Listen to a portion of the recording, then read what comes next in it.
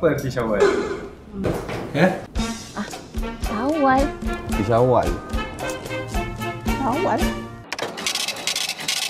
Hmm, Aku tanya orang lain lah. Aku sibuk ni. Hari raya lah. Selalunya raya. Mesti duit raya lah kot. Bonus, bonus.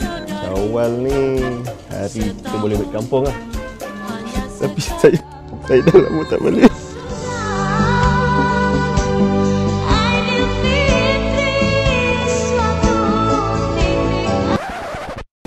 Syawal eh.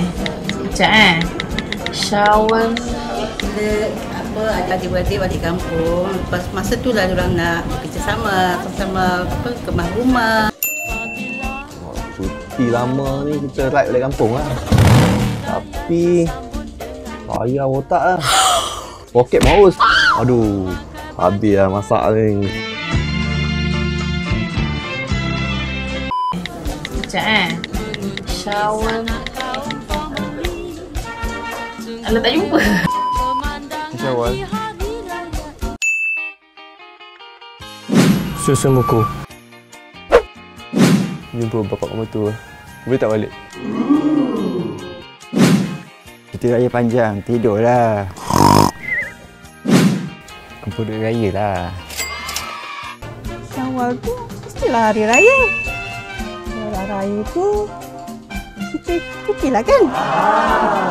Tapi kalau nak cuti, inilah habiskan kerja. Allah.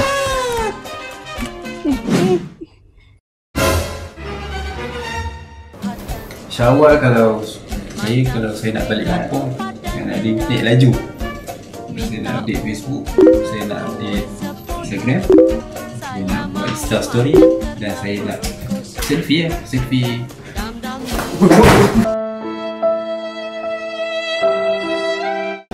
Syawal. Hmm,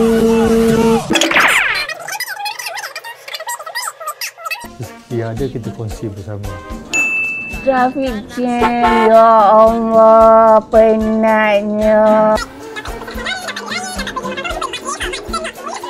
A few moments later. Lepas tu kan aku rasa macam nak nyanyi lagu lah.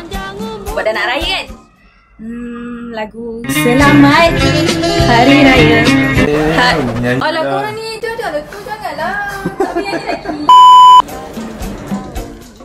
Eh, nak shoot lagi? Lah. Syuk lah. Siap ni ni. Tengok keadaan lah. Tak pasti lagi. Doa-doakan je lah. Apa juga pengertian syawal yang ada? Yang penting adalah peningkatan kita dalam beramal pada Ramadan kali ini berbanding dengan Ramadan-Ramadan yang sebelumnya. Mudah-mudahan cita-cita dan harapan kita untuk menjadi insan yang lebih bertakwa akan dapat kita penuhi.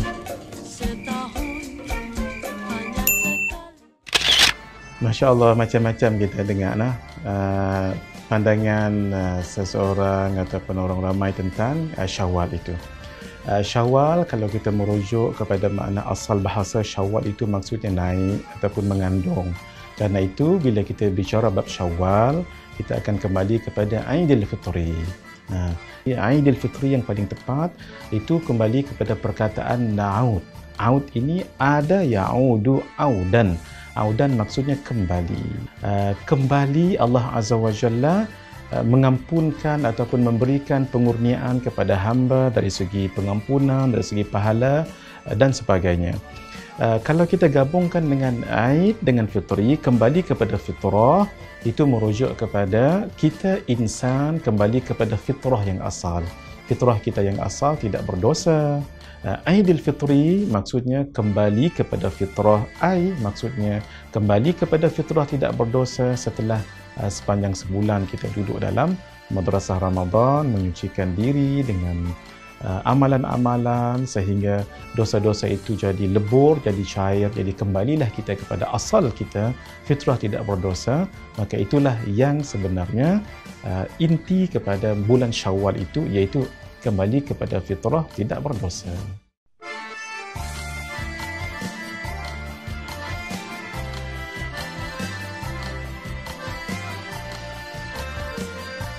Di kesempatan ini, saya selaku pengarah urusan Galeri Ilmu Media Group ingin mengucapkan Salam Aidilfitri minal aidi wal faizin kepada semua staf Galeri Ilmu Media Group, kepada semua rakan-rakan penulis, kepada semua rakan-rakan niaga dan kepada semua rakan media dengan ucapan maaf zahir dan batin.